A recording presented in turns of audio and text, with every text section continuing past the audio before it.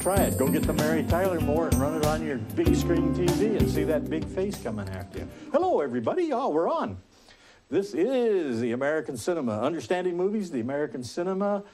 Uh, the, as you know, just this past couple of days, summer is over.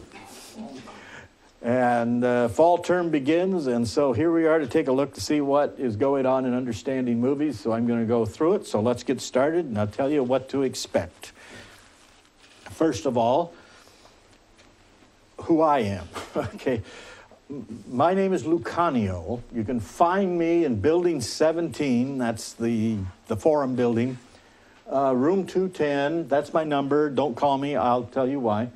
Uh, and there's my email address. My office hours for this quarter, Tuesday, 9.30 to 10.30, so I'll be there tomorrow.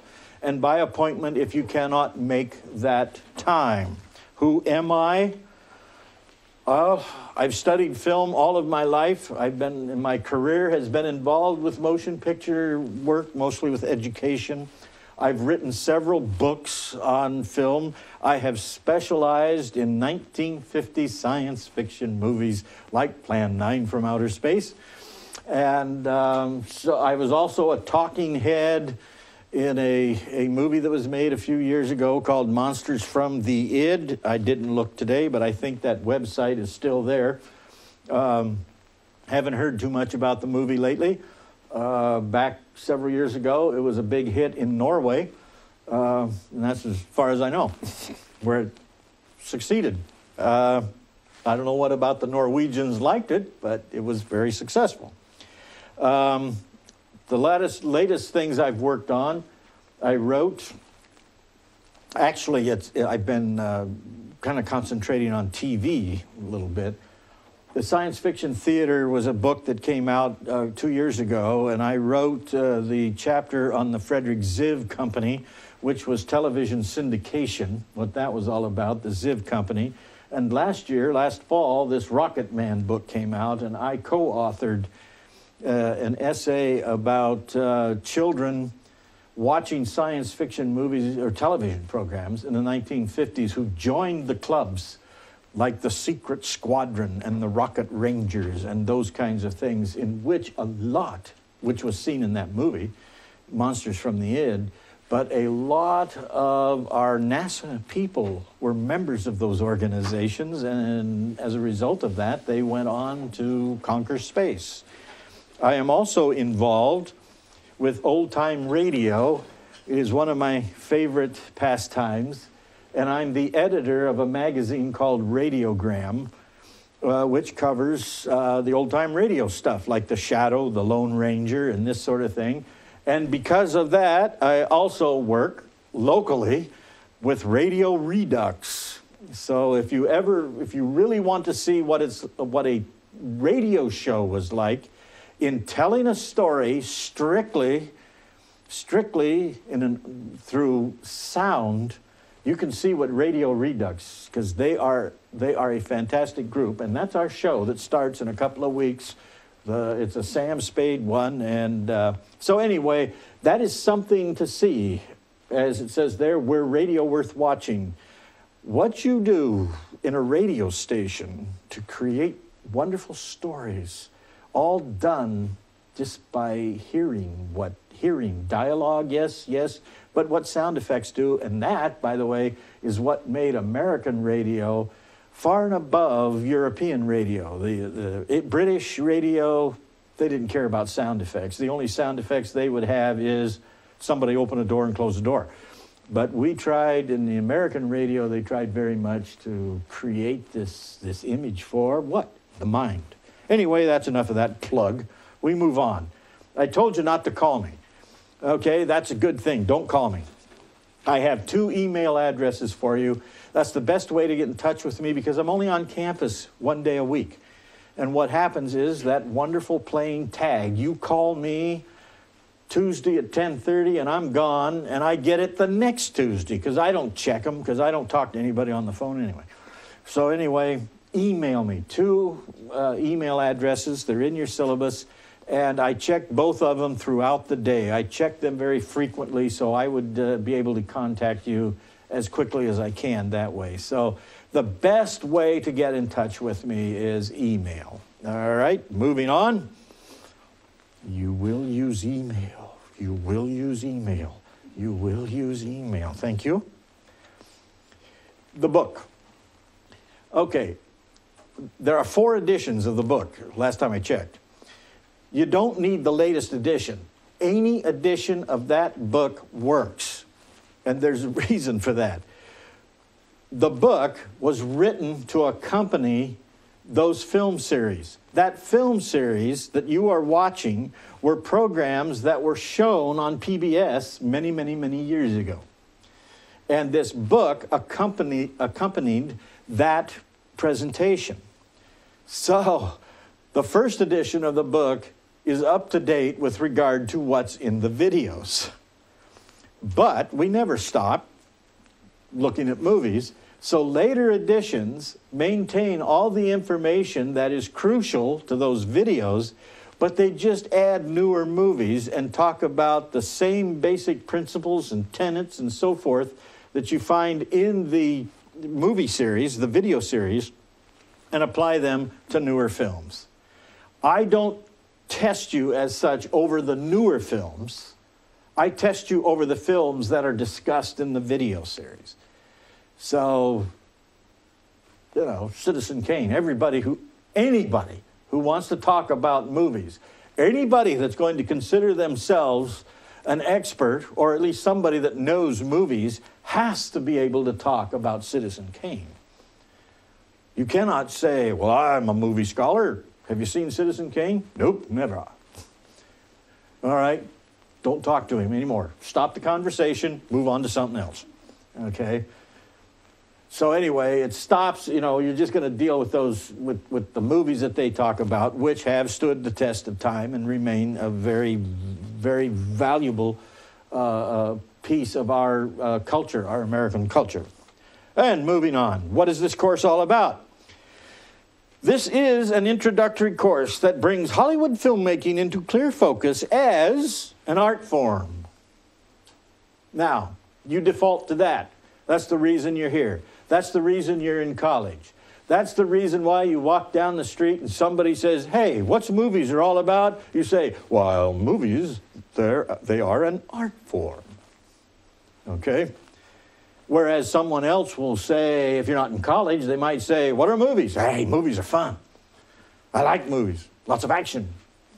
Okay, but no, no, no, no, no. If you're in college, you adopt the college persona and say that it is an art form. And never mention the naughty part of the other part of it. It's an economic force. And this is what I have told every film class, and I'm saying it again I say every film class I've ever taught, ever taught, I say the same thing. You have to understand this. It is called a motion picture industry. As a matter of fact, it gets all kinds of tax breaks that you can't get because they make a lot of money and they fill the pockets of politicians. But what it's all about, it's an economic force. It's a business first. A movie is made in order to make money no other reason. And it is to make big money. Does that mean that it's not an art form? No, no, no, no, no, no. The byproduct is it's an art form because we see beautiful things in films. Not all movies, but lots of films give us beautiful things. We see that as an aesthetic piece of our culture. And we'll look at it and we'll go, wow, and you know what makes it a valuable piece of, of our uh, aesthetic culture is when we can talk about it and never run out of things to say. And that's what makes Citizen Kane so powerful.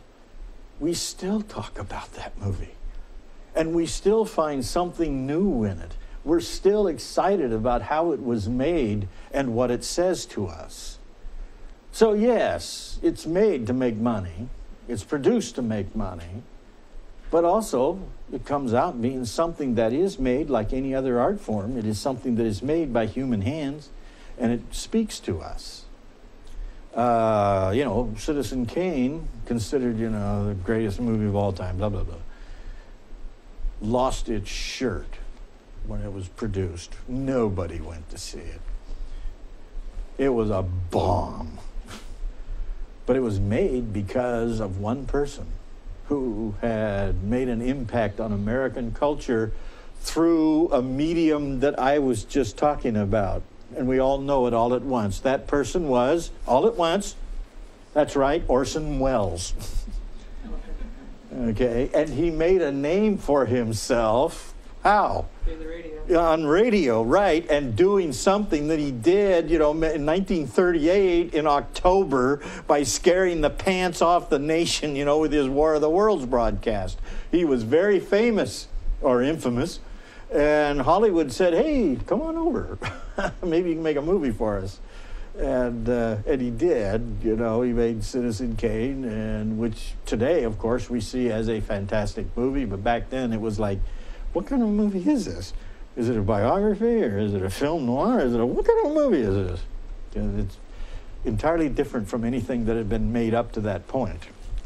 And it's also a system of representation and communication. Movies communicate to us, communicate unbelievably uh, in such a way, you know, that we, we imitate movies.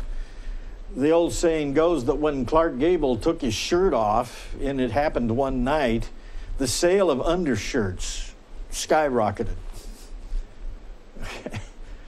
those kinds of things that occur in movies, how we just sort of follow through and say, well, I want to be just like this guy or that guy or her or him or, you know, everybody wants to be Lady Gaga, you know, that kind of stuff. Okay. Uh, moving on. The American cinema probes the deeper meanings of American movies with the hidden message of genres. That's their term. I don't like it.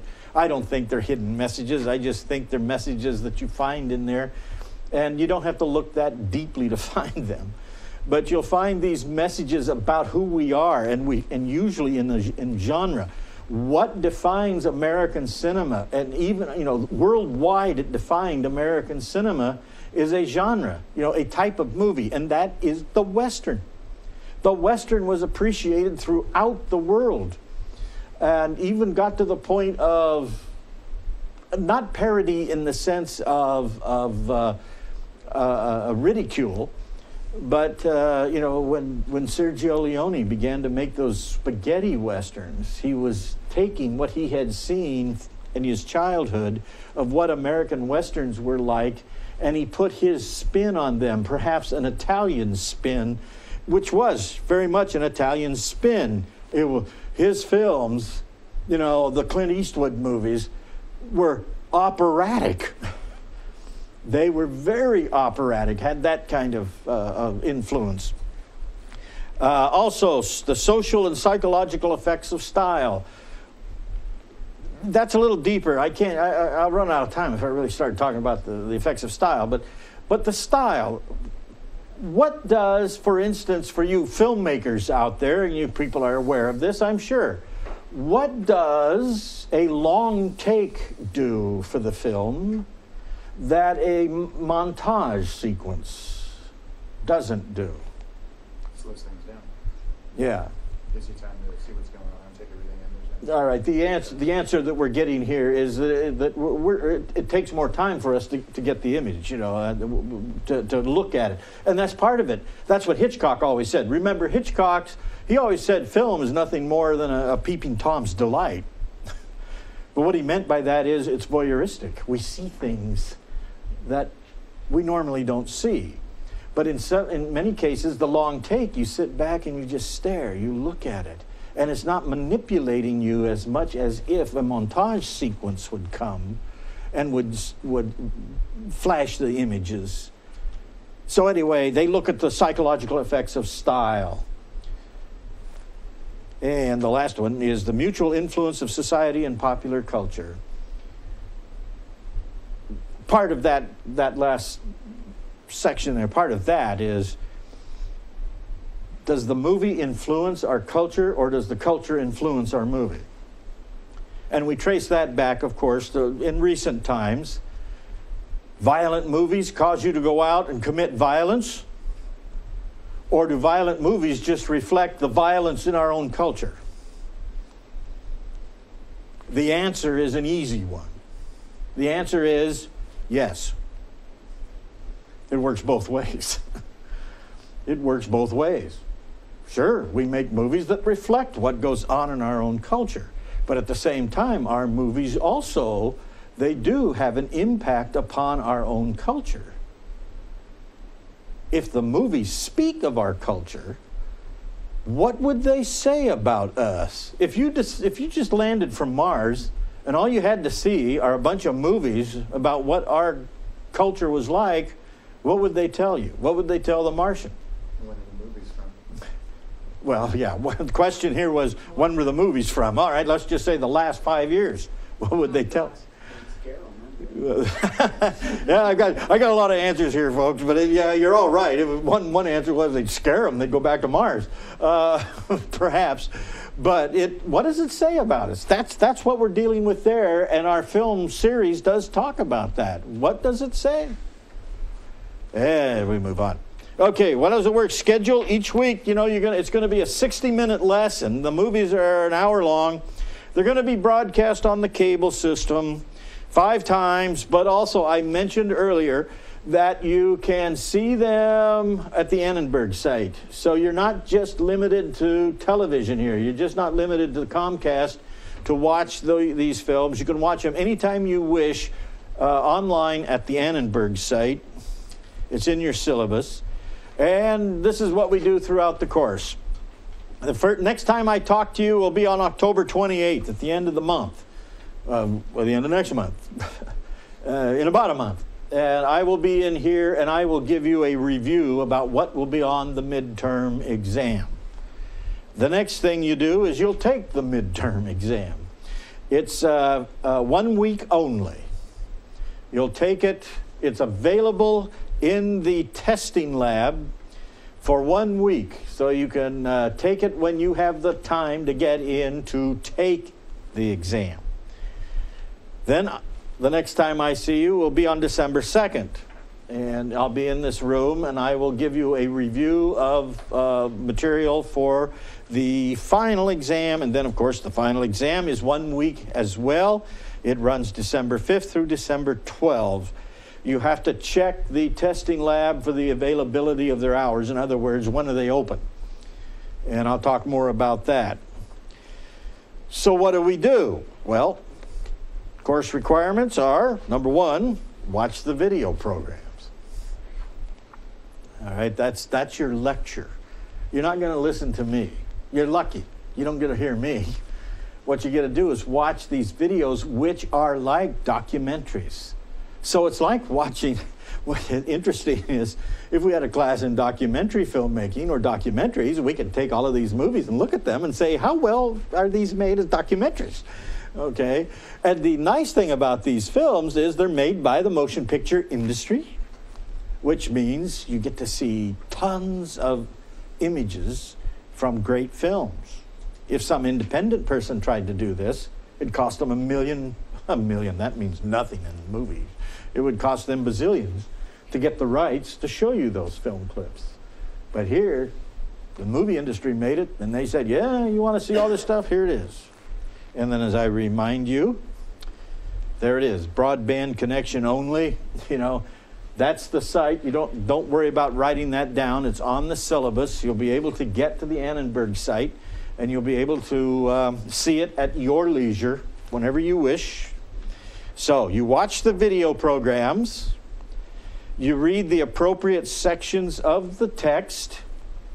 Again, it doesn't matter which edition. The text remains pure to what's in the video series. If you have, I, I put in your syllabus, uh, I, I gave you the chapters uh, that accompany each uh, video. And um, uh, if, if there's some discrepancies in it in the text, I don't have the, a copy of the third edition, but I looked at the second and I looked at the fourth editions and they're, they're essentially the same. They're just different page numbers because they've enlarged the section with, with newer films. So, but the one way to guarantee that, if you've got an old edition, is to look at it. And if they're talking about the studio system, find the chapter that talks about the studio system, okay? Now, uh, take notes. I mean, I, maybe you're a genius and you don't have to. Maybe you know everything already. Maybe you're a savant and you know everything there is to know about movies, so you don't have to take notes. But that's essentially, you know, take notes on things that you don't understand. If you're a movie nut and you know a lot of this stuff, you well, why bother take notes? I know that stuff. But then along comes something and they might say something in there. You go, what are they talking about? Well, go back, take notes so you'll have that. And why? Because you're going to take a test. You're going to take a midterm and you're going to take a final exam. And when I give you those tests, you'll want to be able to answer them, the questions the right way, so that you, uh, that you can walk out of this with a smile on your face and go, Yeah, I passed the film class. And how do you do that? Oh, let me tell you it, they're all it's, it's 50 questions each one. Each the midterms 50 questions the, the finals 50 questions. Uh, they all deal with stuff at that time. The, the, final doesn't go all the way back to the beginning. It takes over from where we left off. And um, they're all you know multiple guess type questions. Um, it's done in the social science testing lab. That's center 456 uh, you do have to have photo id required but you also can take with you a three by five note card. Now, that's all they allow. If I were giving you the test, I'd allow you to bring a book. And I'd allow you to bring all your notes. But the testing lab doesn't do it that way because they can't monitor everybody. And there's so many people that cheat anyway. So they just can't do it. So they limit you to one three by five card. Front and back works, okay? You're going to add stuff, just put down the stuff that you're confused about. Stuff you know, you don't have to worry about it. And always check down there to verify when it's open because too often what happens, uh, and, I, and I know I don't want to cast aspersions on all you wonderful people that are here tonight, nor do I want to cast aspersions on people that are out there watching me at wherever you are. But there are many students who are absolute total idiots. And these are students who will go to the testing lab at five minutes to five when they close at five and say, I want to take that test. At which point they say, Sorry, it's closed. And then they call me and scream at me because they didn't have a chance to take the test. I don't want to talk to you. If I see you on the street, I'll cross the street. Okay? And you laugh and you're looking at me like, oh, come now. And I'm going to tell you that's happened to me more than once while teaching this class. I don't want you to be somebody like that. And you're not, because I can see all the intelligent faces out there.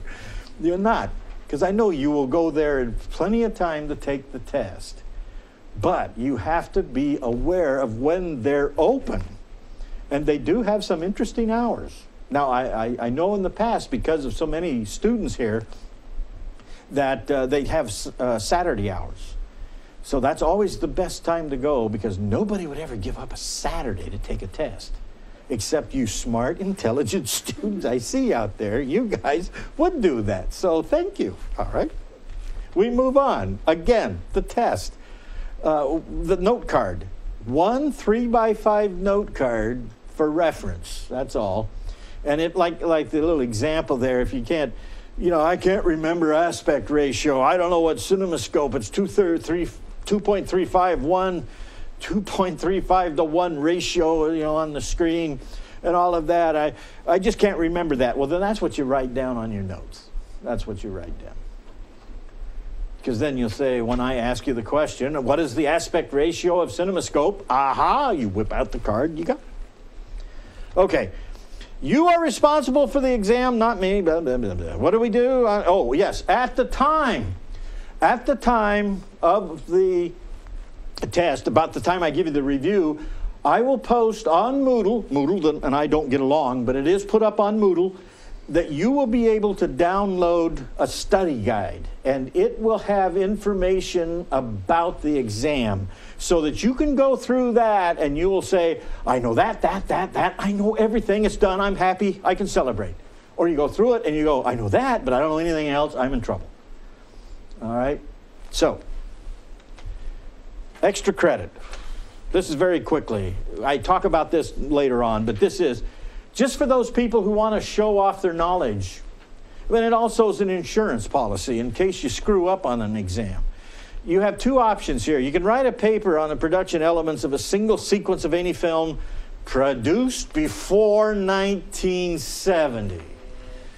Yeah, I know. I make you actually look at a movie that you have not seen. And don't look at me that way because I could make it even worse. I could make it a black and white movie. all right? So, anyway, or make your own movie. And that's all outlined as next slide says. It's in the deluxe syllabus that is available for you online to download. And it gives you all the details about it. If you're confused, bewildered, rattled, depressed, desperate, so am I. Okay? But if you wish to, stop by during office hours or send me an email. The program schedule works this way. The first thing you're going to look at is classic Hollywood style.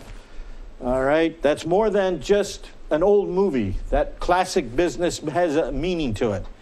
Then you look at the studio system, how it began this studio factory that produced people, the star, and how the stars began to influence the production of films.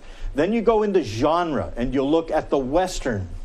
Then you'll look at the romantic comedy. Then you look at the combat film that everybody else in town calls the war movie. And then you'll look at everybody's favorite film noir and wonder if it's a style or if it's actually a genre. And then you move into film in the television age, what happened in the 1950s that changed Hollywood, changed films.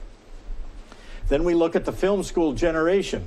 That is where you go to school to learn how to make movies. Before that, they just made movies.